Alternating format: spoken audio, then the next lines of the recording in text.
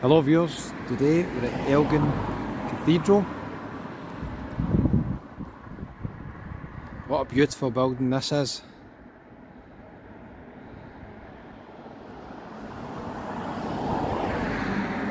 We've got some famous gravestones in here as well. We've got one round the side. It's a really big one dedicated to a shoemaker from Elgin. Now, I've just turned up here and I didn't realise you actually have to pay to get in here, to get around here.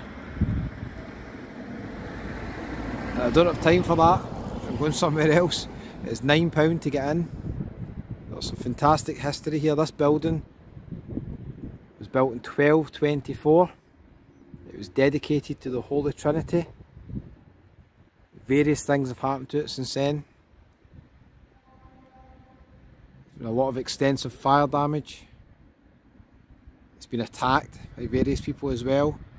So it's got some fantastic history. Let me know in the comments if you've been to Elgin Cathedral before.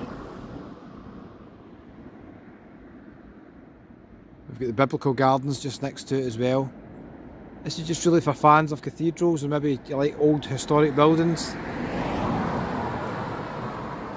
If you're interested in new videos from Scotland, just click the wee button below that says subscribe, it's absolutely free.